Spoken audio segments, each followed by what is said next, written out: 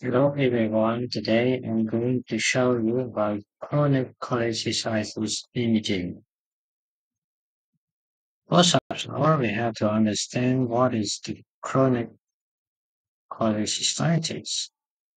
That means chronic low-grade inflammation of gallbladder causing wall thickening and fibrosis.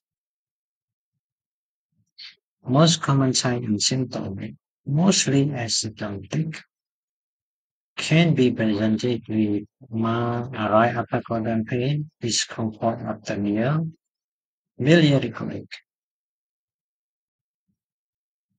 In the imaging, you can find the chest wall thickening plus minor contraction, presence of gallstone, common, absent biliary cholecystic inflammation, absent mural hyperemia, Ultrasound is initial imaging too, but is non-specific.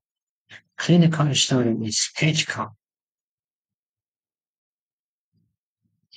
So this is the first case ultrasound obtained after fasting sound.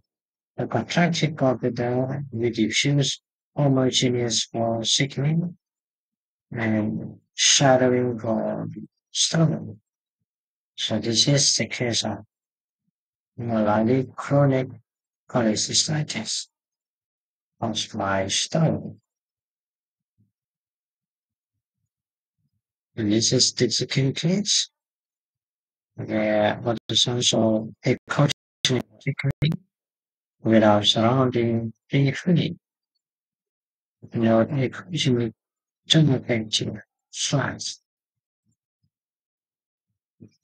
So this is also chronic cholecystitis.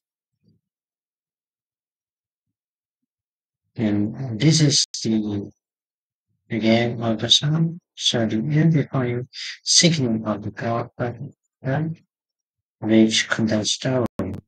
not the presence of a conchonic band and pushing within the second gallbladder wall. The diagnosis is Santo granulomatous cholecystitis, which is the most common unit in chronic cholecystitis. Treatment of course, cholecystectomy in symptomatic case or complication of acute cholecystitis.